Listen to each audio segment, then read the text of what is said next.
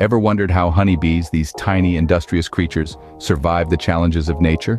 Well, sit back, relax, and let's delve into the intricate life of these fascinating insects. Honeybees live in highly organized societies, each with a clear role to play. The queen, the heart of the hive, is responsible for laying eggs. She's surrounded by worker bees, the diligent females who perform the majority of tasks.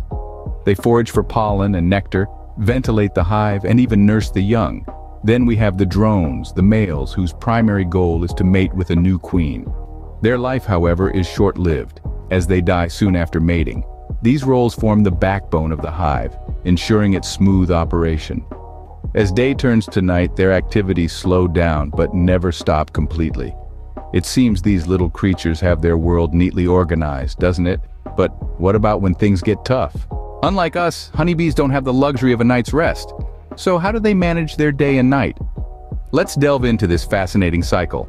As the sun rises, honeybees begin their tireless work, buzzing from flower to flower, collecting nectar and pollen. This daytime foraging is crucial as it ensures the survival of the entire bee colony. But what happens when the sun sets? Do these industrious insects finally take a break? Well, not exactly. Nighttime for honeybees is not about lengthy, deep slumbers.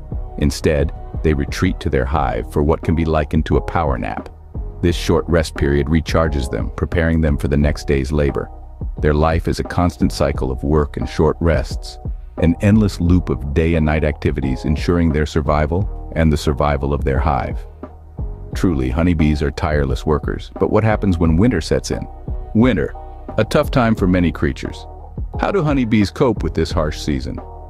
As the days grow shorter and the temperature drops, honeybees are already well into their winter preparations. Unlike other insects that may hibernate or die off, honeybees engage in a remarkable survival strategy. They begin by storing surplus honey during the warmer months, enough to feed the entire colony through the frigid winter. The hive transforms into a fortress against the cold.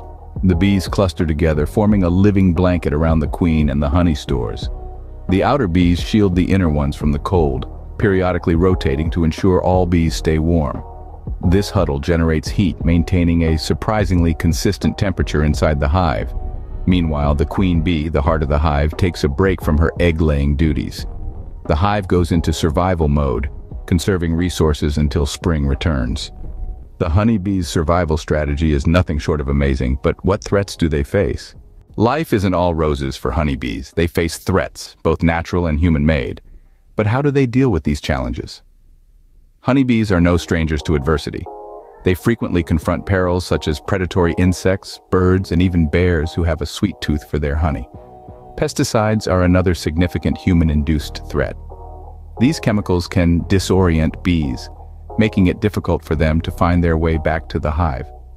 But honeybees have a strategy for this too. They communicate through dance, sharing the location of nectar-rich flowers away from pesticide-laden areas. Habitat loss is yet another hurdle.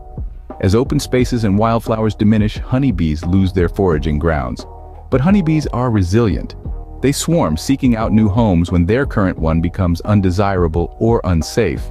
The resilience of honeybees is commendable, but they need our help too. Their survival is not just a matter of biodiversity, but also our own food security. So, what can you do to help these vital pollinators? You might be wondering, and indeed, there are many ways we can all play our part. First, consider planting bee-friendly flowers in your garden or even in pots on your balcony. These provide much-needed sustenance for our striped friends, offering a rich source of nectar and pollen. Next, think about reducing, or better still, eliminating the use of pesticides. These chemicals can be harmful to bees, disrupting their navigation and foraging abilities. Perhaps one of the most impactful ways to help is by supporting local beekeepers.